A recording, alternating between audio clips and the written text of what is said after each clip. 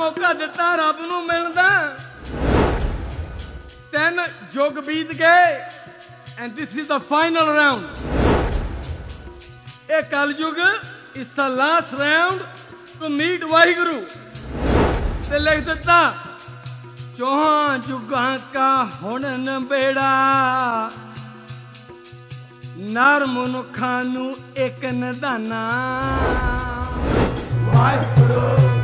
Waheguru Waheguru Waheguru Waheguru Waheguru